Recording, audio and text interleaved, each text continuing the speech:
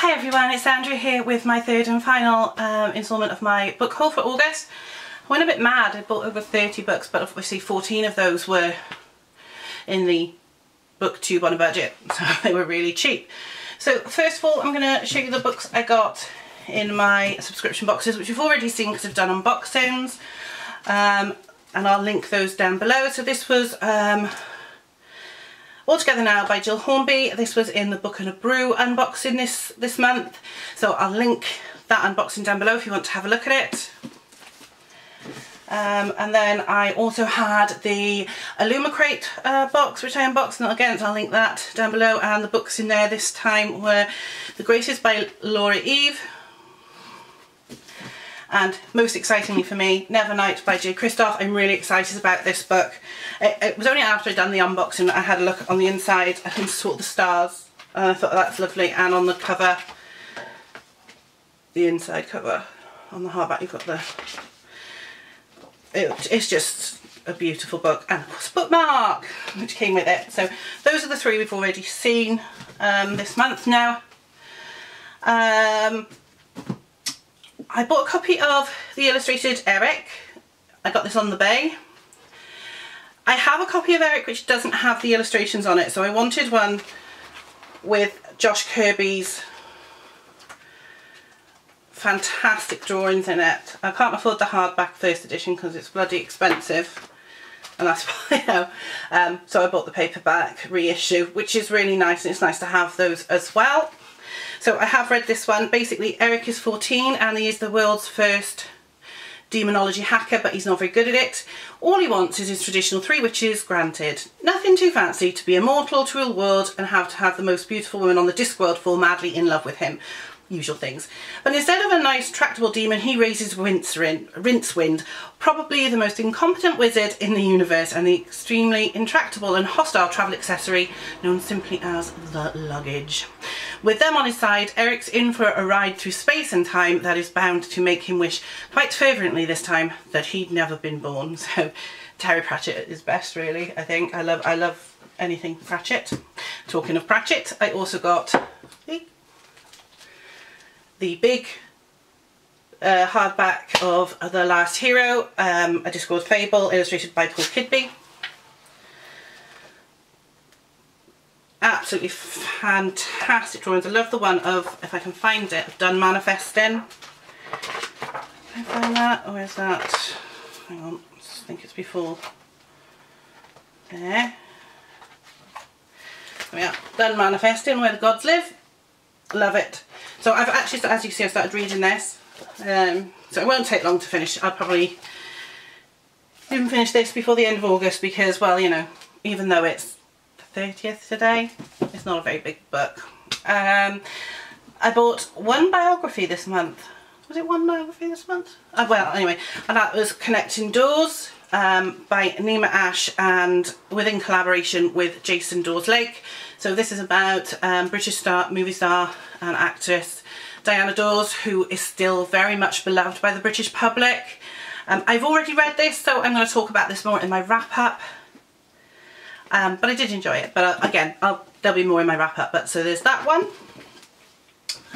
I then bought um, While My Eyes Were Closed by Lind Green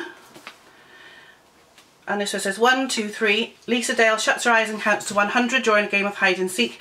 And when she opens them, her four-year-old daughter Ella is gone, disappeared without a trace. The police, the media and Lisa's family all think they know who snatched Ella, but what if the person who took her isn't a stranger? What if they are convinced they are doing the right thing? And what if Lisa's little girl is in danger of disappearing forever? I love thrillers. This sounds like a really good book. Love the cover. In the back cover is really good as well. There's a little child on it and the balloon floats away. There's a balloon under there as well, but you can't see that because there's a sticker on it. Um, then I decided to go back to my childhood. Now, while this generation um, rereads Harry Potter, and why not, because Harry Potter's fabulous, I'm currently reading them now. Mm. So thirsty today. Um, my childhood was filled with books by Enid Blyton. So I bought one Enid Blyton I didn't have when I was a kid, which is The Flyaway Cottage and Other Stories. So it's a book of short stories by Enid Blyton. There's illustrations in them. I really like this because I'm just going to the little girl that owned it before.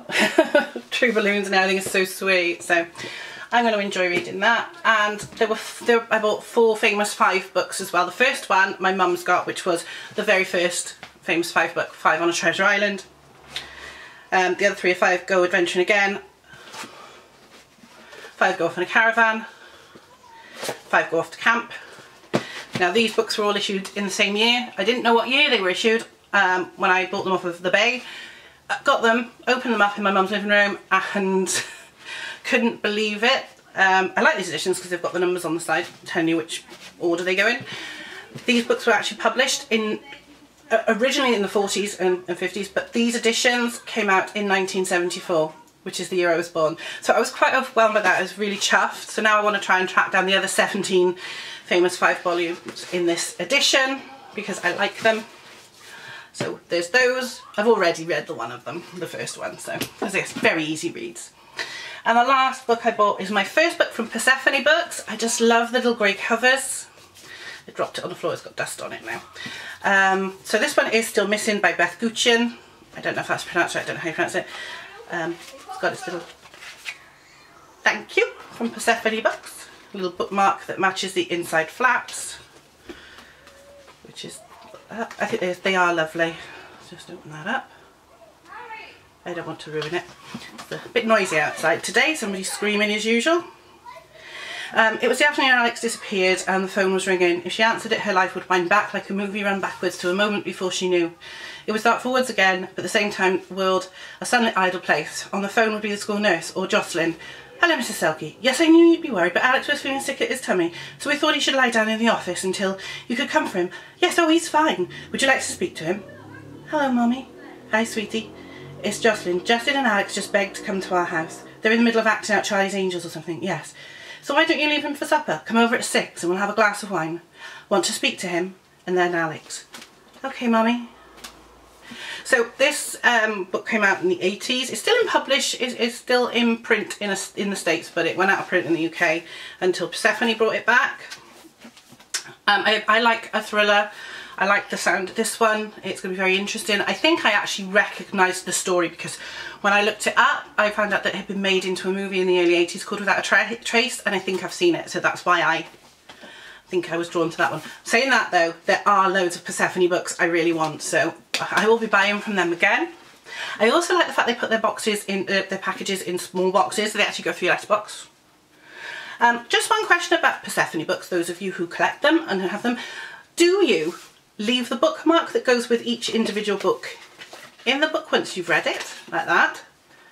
Or do you put it somewhere else with your other bookmarks? I need to know this because I'm quite fussy with what I do and I'm in two minds as to whether or not to leave it in the book when I finish the book or put it in a separate pot with all my other bookmarks. So let me know, I really want to know. So those are now all the books I bought in August. Um, I'm sure I will be buying more in September though I'm going to try not to buy so many. Um, let me know what you've bought. If you've done a book haul this month, I will probably watch it, so leave a link in, in the doobly below. If you enjoyed this video, like it, share it, comment and subscribe. I'd really appreciate it, especially comments. I, I love them. I love getting comments from people. And I will see you again very, very soon. So happy reading and goodbye.